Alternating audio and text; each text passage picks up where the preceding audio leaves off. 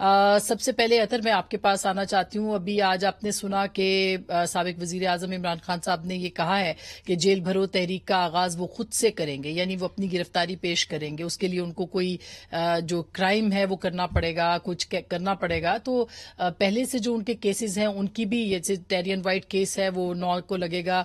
उन्होंने ये भी कहा कि नाहल भी वो हो सकते हैं। तो आपको क्या लगता है कि वाकई इमरान खान साहब गिरफ्तारी दे सकते हैं?